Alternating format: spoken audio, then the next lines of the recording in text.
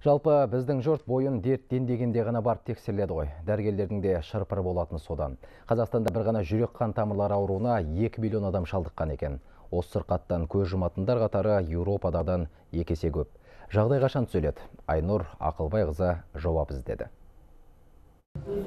66 жастағы Нұрбала апайдың денсаулығы соңғы жылдары күрт нашарлаған. Кез келген сәтте жүрегі қысылып, жүріп тұрудың өзі қиындық туғызушы еді дейді ол. Дәрігерлер науқастың жүрегінде тесігі бар екенін анықтап, оны операцияға алуға шешім қабылдады. Күрделі ота заманауи құрылғының көмегімен 3 сағат бойы жасалған.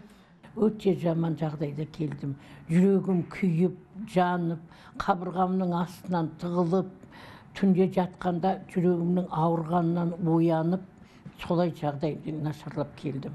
Кішкене жүрсем ентігіп аузыма тығылып сөйтіп келдім. Жетектеп келді мені жолдасым.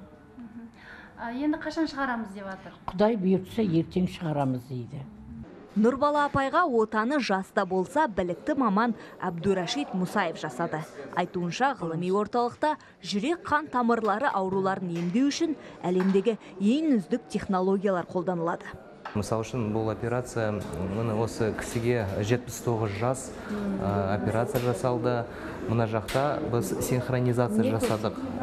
Бұл компьютерный томография бұрын жасалған компьютерный томографияның данныйларын осында осында қойылған. И мына жақта уже бізге ол автоматом маркерлер көрсетіп тұр. Қай жерге клапан қою керек ә, неше миллиметр сол қан тамырлардың расстояниясы қанша и ә, бұрын біз осының бәрін көру үшін дополнительный контраст берер едік. Ол ә, бауырға бүйрекке ә, дополнительный нагрузка болады контрастное вещество. А қазір уже навигация болса ол контраст саны азайды.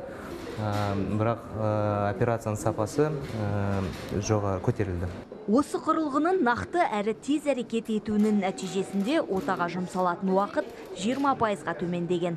Сондай-ақ рентген сәулелерінің кері әсері де азайды. Бұған дейін орталықта жылына 6 мың операция жасалса, енді оның қатары 8 мыңға дейін жетеді. бұл аппаратпен өте көп операция жасауға болады тамыр арқылы жүректі тоқтатпай кеспей шаптан немесе қолдан операция көбінше жасауға болады.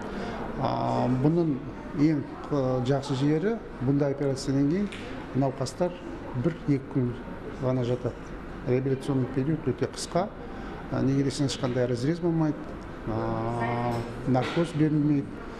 Бұндай операциялар біз а, бепелерге үлкен кісілерге жасап жүрміз. Дүниежүзілік денсаулық сақтау ұйымының мәліметінше әлемде жыл сайын жүрек қан тамырлары дертінен 17 жарым миллион адам көз жұмады.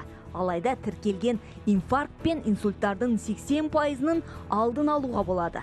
Ал бұл дерттен қаза тапқандардың 75 пайызы өмір сүру көрсеткіші орташа және төмен деңгейдегі елдердің тұрғындары. Өкінішке орай елімізде де жүрек аурулары жасарып барады.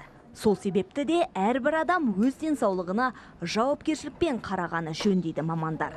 Айнұр Ақылбайқызы, Асхат Қарақойшиев, Хабар 24, Астана.